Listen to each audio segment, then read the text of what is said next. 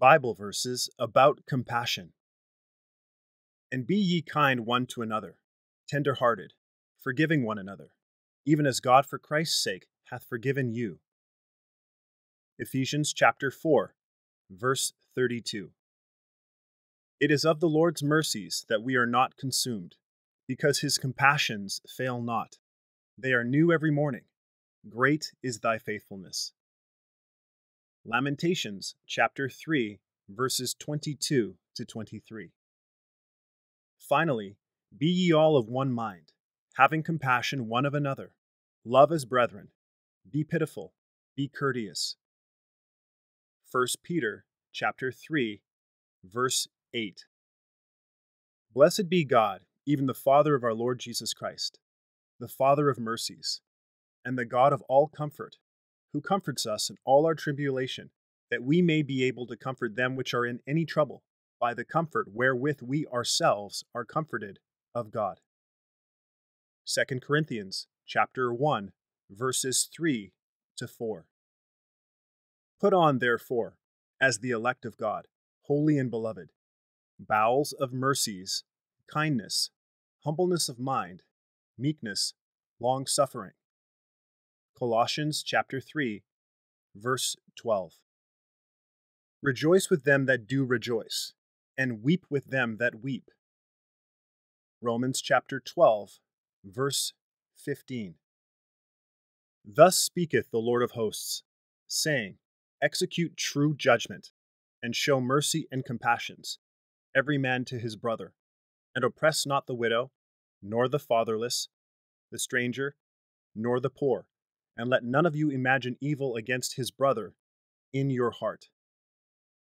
Zechariah chapter 7, verses 9 to 10. Can a woman forget her sucking child, that she should not have compassion on the son of her womb? Yea, they may forget, yet will I not forget thee. Behold, I have graven thee upon the palms of my hands.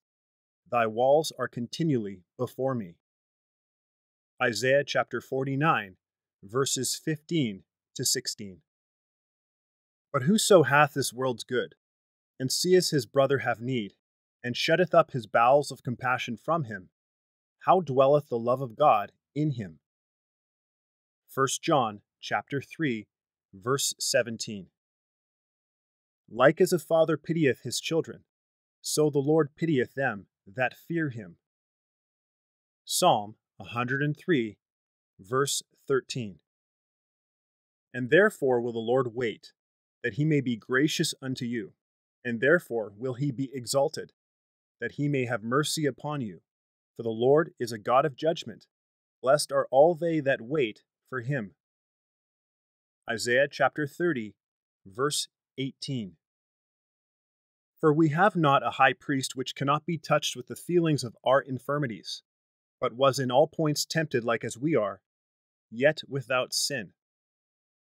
Hebrews chapter 4, verse 15. For the mountains shall depart, and the hills be removed, but my kindness shall not depart from thee, neither shall the covenant of my peace be removed, saith the Lord that hath mercy on thee. Isaiah chapter 54, verse 10. And I will strengthen the house of Judah, and I will save the house of Joseph, and I will bring them again to place them, for I have mercy upon them, and they shall be as though I had not cast them off, for I am the Lord their God, and will hear them. Zechariah chapter 10, verse 6.